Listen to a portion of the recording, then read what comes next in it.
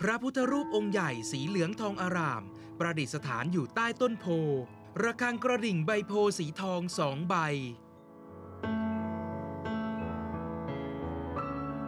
ขึ้นตัวอักษรสีขาวบนพื้นกราฟิก รายการธรรมสัญจรแสวงบุญแสวงธรรม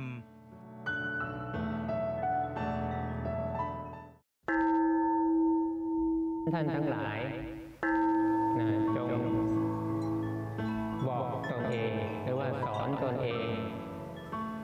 จงเป็นผู้กล้ากล้าที่จะสละความชั่วนั้น ออกจากจิตใจของเรา เพื่อพัฒนาตนเอง เพื่อประโยชน์สุขแก่ตนเอง และเพื่อประโยชน์แก่สังคมส่วนรวม ชายหนุ่มยืนอยู่บริเวณโขดหินริมน้ำภายในป่า สวัสดีครับคุณผู้ชมครับวันนี้รายการธรรมสัญจรแสวงบุญแสวงธรรมนะฮะพาคุณผู้ชมมาที่วัดประชาสนธินะฮะหรือว่าวัดที่เรียกกันว่าน้ำตกห้วยยางนะฮะอยู่ที่จังหวัดประจวบคีรีขันธ์นะะผมมาเปิดหน้าอยู่ตรงนี้คือธรรมชาตินี่บรรยากาศดีมากๆนะฮะเป็นวัดที่เงียบสงบแล้วก็เรียบง่าย แต่ว่าวันนี้จะมีอะไรน่าสนใจบ้างติดตามได้ในรายการในวันนี้เลยครับพิษณุสรยางสูง พิธีกรชายพูดป้ายไม้อักษรนูนสีทอง วัดประชาสนธิ หมู่ 11 ตำบลห้วยยาง อำเภอทับสแก จังหวัดประจวบคีรีขันธ์ ประกายแสงสีทองส่องลอดผ่านบรรดาต้นไม้สูงใหญ่สีเขียว ครับและช่วงนี้นะครับเรายืนอยู่กับอ่าพระอาจารย์นะครับที่อยู่ที่อ่าวัดประชาสนธินะครับ หรือว่าอ่าคนจะรู้จักกันในวัด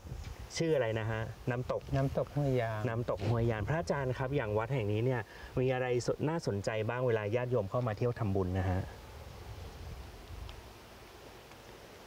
ก็มีโบสถ์ครับ เพราะว่าวัดนี้ยังยังสร้างไม่นาน แต่ว่ามีโบสถ์เป็นโบสถ์แบบโบราณ โบสถ์โบราณจะเป็นยังไง เดี๋ยวเดี๋ยวเราพาไปดูว่ามันเป็นยังไงเรียกว่าโบสถ์โบราณ อืม เป็นโบสถ์โบราณนะฮะ แต่ว่าที่นี่เงียบสงบมากและที่สำคัญคืออยู่ติดกับอุทยานด้วยฮะครับตรงนี้อุทยานอะไรครับ อุทยานแห่งชาติน้ำตกห้วยยางอืม ครับอุทยานแห่งนี้มีความสำคัญด้วยนะครับเพราะว่ารอเก้ารอเก้ากับพระราชินี สมเด็จพระนางเจ้าสิริกิติ์พระบรมราชชนนีพันปีหลวงเอ่อทั้งสองพระองค์เนี่ยเคยเสด็จมาที่น้ำตกห้วยยาง อ๋อ ครับครับที่น้ำตกห้วยยาง ชาวบ้านก็เลยจะเรียกวัดแห่งนี้ว่าวัดน้ำตกห้วยยางด้วยอืมอืมเมื่อก่อนเป็นสำนักสงฆ์เรียกว่าครับสำนักสงฆ์ เขาน้ำตกครับอ่าแต่ว่าผมเข้ามาเนี่ยสิ่งแรกที่สัมผัสได้คือความร่มรื่นครับพระอาจารย์คือร่มรื่นมากนะฮะแล้วก็มีต้นไม้เยอะมากเพราะว่าอาจจะอยู่ติดกับอุทยานด้วยนะฮะแล้วตรงนี้เป็นเวลาญาติโยมเข้ามาเนี่ยสามารถเข้ามาปฏิบัติธรรมอย่างนี้ได้ไหมครับเพราะที่นี่เป็นสถานที่ปฏิบัติธรรมประจำจังหวัดแห่งที่ห้าเนี่ยครับก็มีญาติโยมเข้ามาปฏิบัติทั้งปีอืม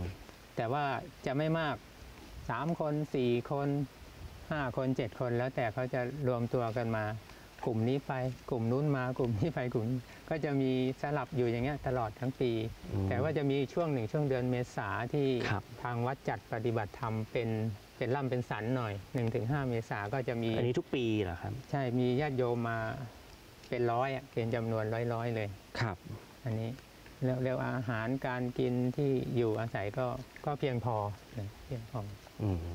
ครับอ๋อผมเห็นว่าที่พระอาจารย์บอกเมื่อสักครู่คือวัดเนี่ยสร้างไม่นาน อันนี้ความเป็นมายังไงฮะในช่วงของการก่อตั้งนะฮะอาจจะเดิมเป็นสำนักสงฆ์ก่อนแล้วเป็นยังไงบ้างฮะก็เดิมทีหลวงหลวงพ่อท่านอยู่อยู่โคราชเป็นคนอำเภอพิมายอะท่านบวชแล้ว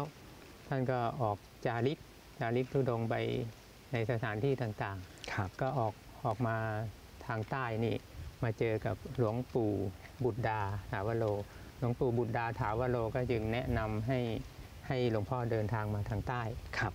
แล้วหลวงพ่อก็เดินทางมาเรื่อยจนมาพบสถานที่แห่งนี้ สมัยนั้นก็เป็นเพียงกุฏหลังเดียวตั้งอยู่บนเขาตั้งแต่พศ 2507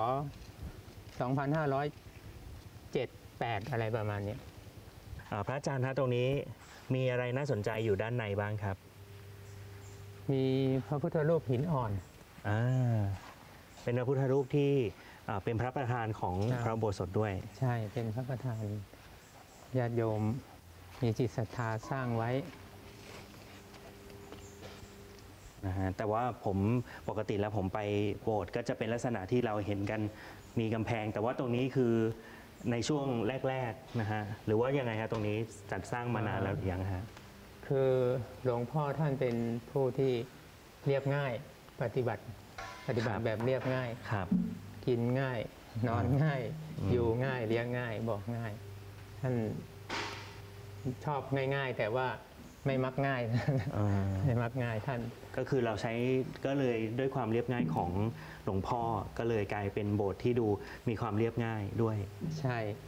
จะเรียกที่เรียกที่บอกไว้ก่อนว่าเป็นโบสถ์โบราณครับ ก็คือ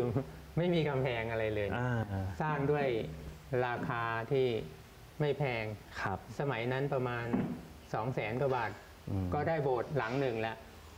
นะครับเนี่ยครับ เรียกว่าเป็นโบสถ์ที่เรียบง่าย เป็นโบสถ์โบราณ เพราะสมัยครั้งพุทธกาลจริงๆเนี่ย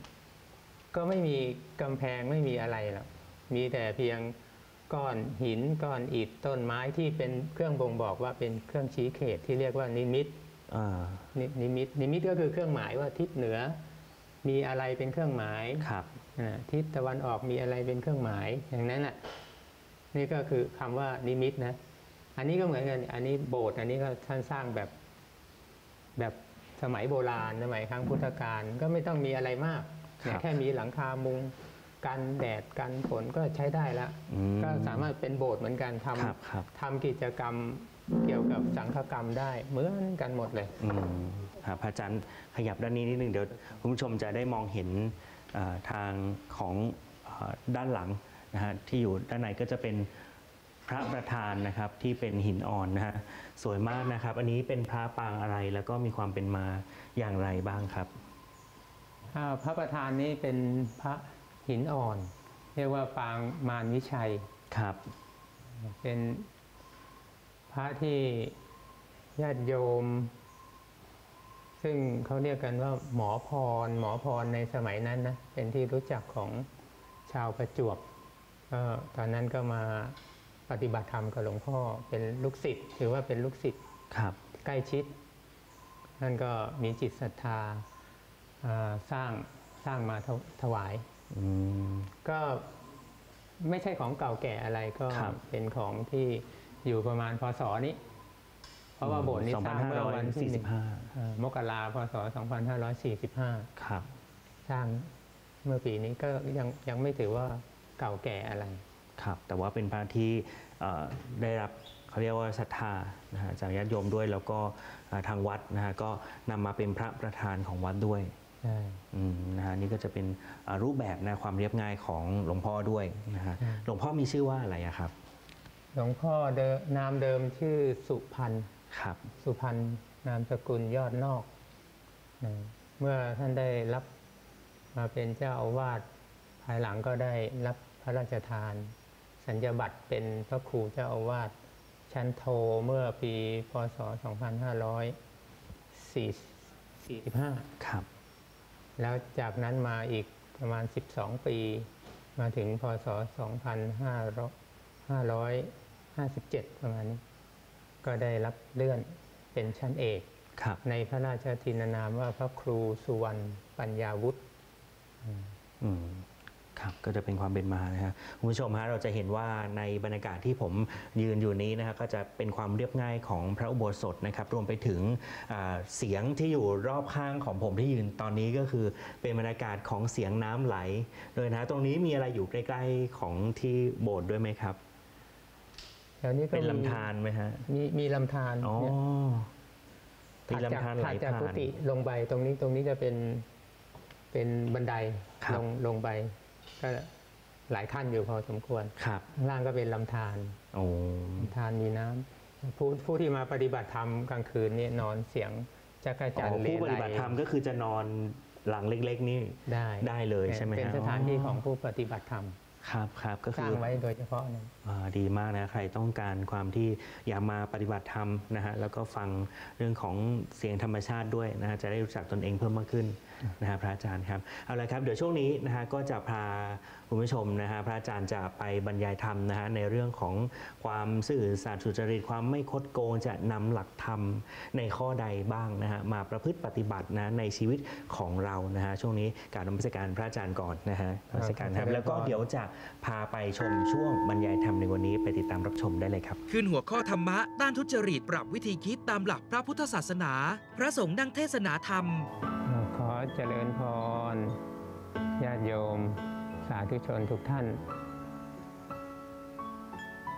บุญกุศลทั้งหลายที่จะเกิดขึ้นกับญาติโยมนั้น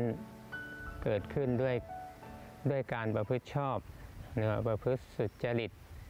ประพฤติเป็นธรรม บุญกุศลนั้นเกิดขึ้นที่กายวาจาและใจของเราไม่ได้เกิดขึ้นที่อื่น โดยเฉพาะจิตใจนี้ เป็นสิ่งที่สำคัญที่สุด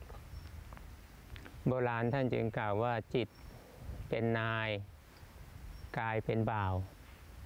แม้ในภาษาบาลี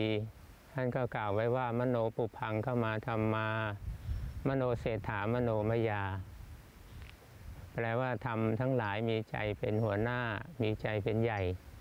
มีใจประเสริฐที่สุดสำเร็จได้ด้วยใจ หากว่าบุคคลมีใจถูกโทษประทุษร้ายแล้ว จะพูดอยู่หรือกระทำอยู่ก็ตาม ความทุกข์ย่อมติดตามบุคคลผู้นั้นไป เหมือนเงาตามตัวฉะนั้นฉะนั้นคนเรานั้นต้องอาศัยการฝึกฝน อบรมตนเอง จึงจะเป็นมนุษย์ได้ เพราะว่ามนุษย์เรากับ สัตว์เดรัจฉาน มันมีความเสมอกันอยู่ 4 ประการก็คือต้องการกินการนอน การสืบพันธุ์และความกลัวภัยทั้ง 4 อย่างนี้มีเสมอกัน แต่ว่าคนเรานั้นจะประเสริฐกว่าสัตว์ได้ ก็ต้องอาศัยคุณธรรม คุณธรรมที่จะทำให้ประเสริฐ กว่าสัตว์นั้น ท่านกล่าวไว้ ในที่นี้จะยกมาสักสองประการนั่นก็คือฮิริกับโอตตปปะฮิริคือความละอายละอายต่อความชั่วโอตตปปะ ก็คือความเกรงกลัวต่อบาปธรรมสองประการนี้ท่านกล่าวว่าเป็นธรรมที่คุ้มครองโลก เป็นธรรมของเทวดา ท่านกล่าวไว้ว่าฮิริโอตปะสัมปันนา สุกะธรรมสมาหิตา สันโตสัพปุริสาโลเก เทวธรรมาติวุจเลนะคือธรรมสองประการนี้เป็นธรรมฝ่ายขาว เป็นเทวธรรมคือเป็นธรรมของเทวดาเป็นธรรมของคนดี ฉะนั้นคนที่มีคุณธรรมสองประการนี้ คือหิริ ความประอายต่อความชั่วโอตตปะความเกรงกลัวต่อบาป ก็ได้ชื่อว่าเป็นเทวดา ในขณะที่ยังมีชีวิตอยู่ เรียกว่าตัวเป็นมนุษย์ แต่ว่ามีใจเป็นเทวดา เพราะว่ามีคุณธรรมสองประการนี้ฮิริโอตตปะนี้ท่านบอกว่าเป็นกรรมเเป็นธรรมของเทวดาก็เพราะว่า เทวดานั้นเราไม่สามารถมองเห็นตัวเขาได้ แต่เทวดานั้นก็จะไม่ทำชั่ว จะมีคนเห็นหรือไม่มีคนเห็นก็ตาม เทวดาก็จะไม่ทำชั่ว เพราะฉะนั้นคนที่มีธรรมสองประการนี้อยู่ในใจเนี่ยเขาเรียกว่ามีใจเป็นเทวดา เรามีตัวเป็นมนุษย์ได้เป็นเทวดาตั้งแต่ยังเป็นมนุษย์ทีเดียวฉะนั้นเราต้อง นำธรรมะสองข้อนี้มาไว้ในใจของเรานะเพื่อทำจิตใจของเรานั้น ให้เกิดความผ่องใส เพราะว่าธรรมสองประการนี้เป็นธรรมที่เรียกว่าคุ้มครองโลกนะเป็นธรรมคุ้มครองโลก ถ้าหากว่าทำสองประการนี้จะไม่พึงคุ้มครองโลกคำว่า แม่น้า ป้า หรือภรรยาของอาจารย์ ภรรยาของครู ก็จะไม่พึงมี แต่ว่าเพราะทำสองประการนี้ เป็นธรรมที่คุ้มครองโลกอยู่คำว่าแม่น้าป้าภรรยาของอาจารย์ภรรยาของครู ก็จึงมีปรากฏอยู่ เนี่ยอันนี้เป็นคำที่องค์สมเด็จพระสัมมาสัมพุทธเจ้าตรัสไว้นะทำสองประการนี้เป็นธรรมคุ้มครองเป็นธรรมคุ้มครองโลก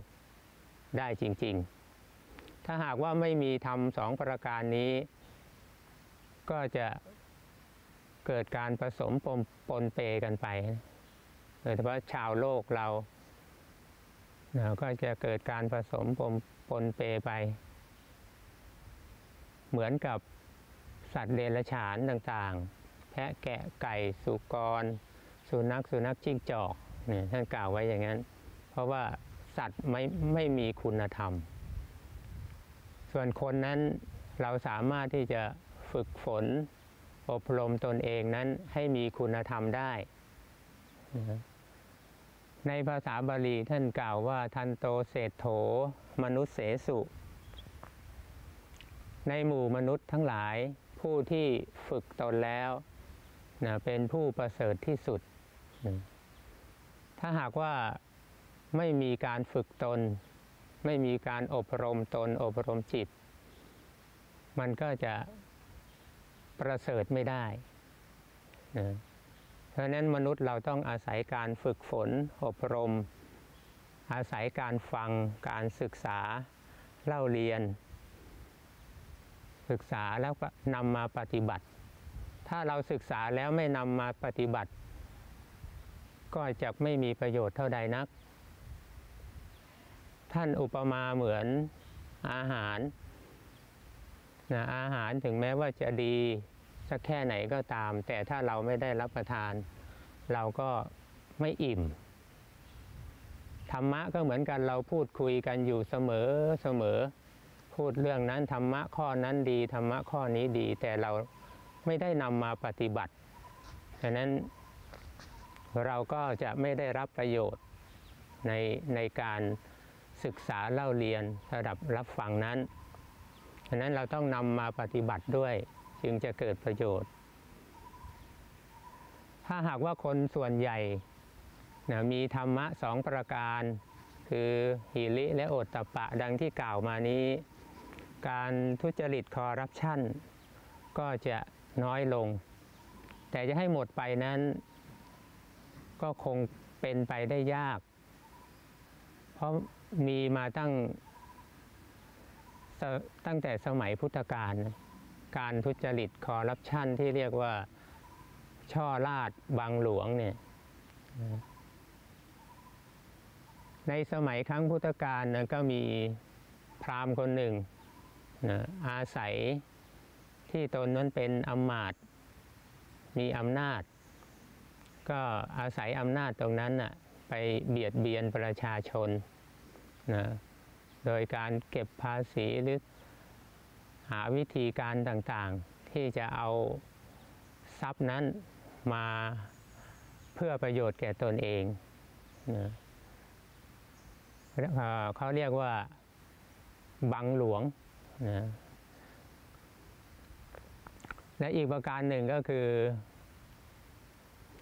อาศัยอำนาจของตนเองอาศัยที่ตนมียศมีตำแหน่ง ก็เบียดบังทรัพย์ของพระราชานะบอกว่าจะเอาทรัพย์ของพระราชา เอาเงินรัฐต่างๆนี้ มาช่วยราษฎร เสร็จแล้วก็ยักยอกเข้าเป็นส่วนตัวของตนเองอีก อันนี้เป็นเป็นข้อผิดพลาดนะเป็นข้อผิดพลาดของของพราหมณ์ ผู้มีอำนาจ มียศมีตำแหน่งตรงนี้ แต่ว่าใช้ยศตำแหน่งนั้นในทางที่มิชอบ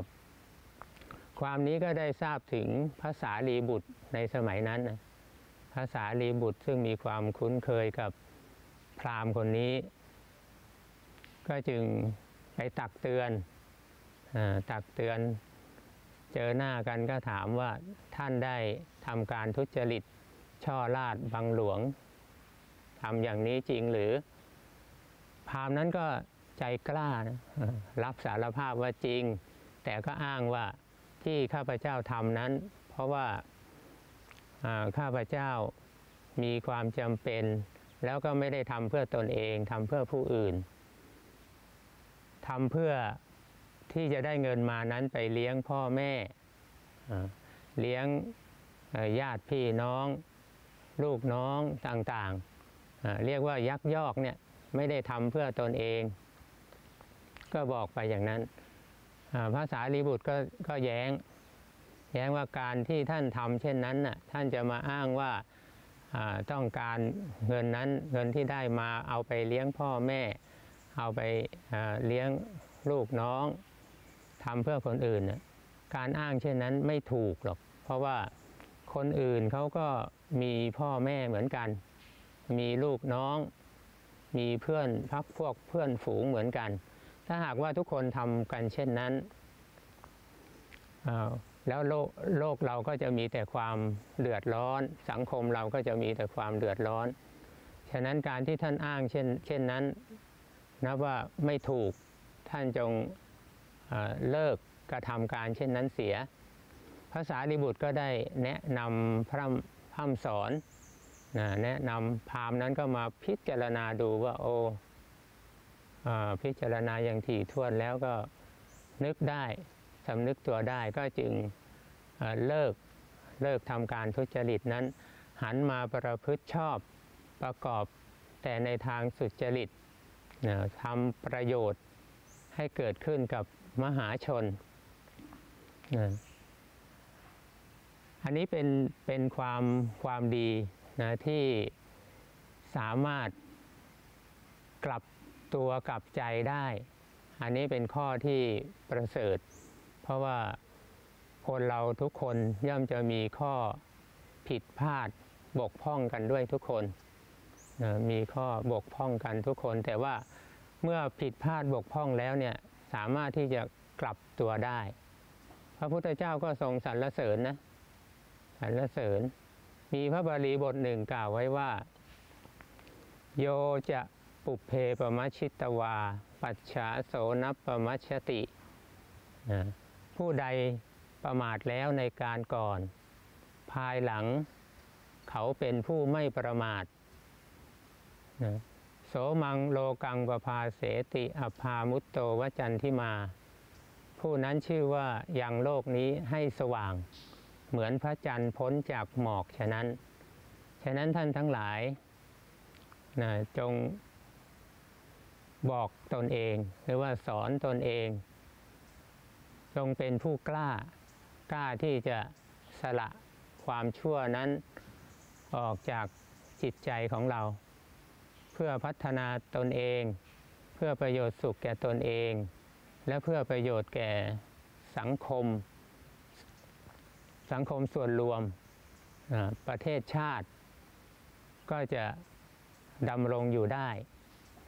ฉะนั้นทำทำสองประการที่ ท่านทั้งหลายควรยึดมั่นไว้ในจิตใจ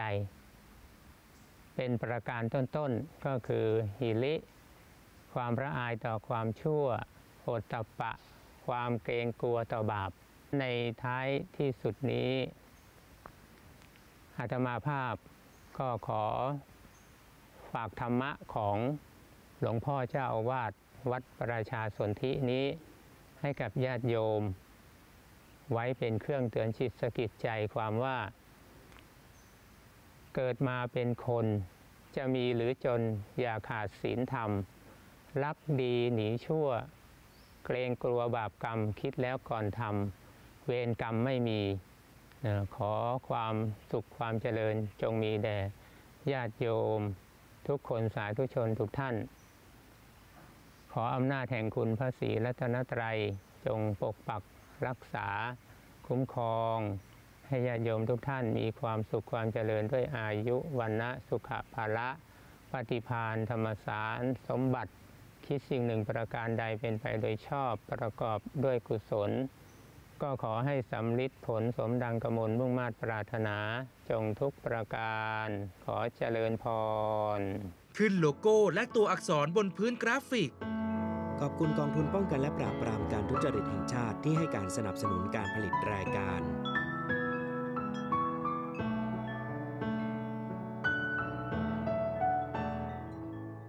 ขึ้นโลโก้ MBT Central ช่อง 11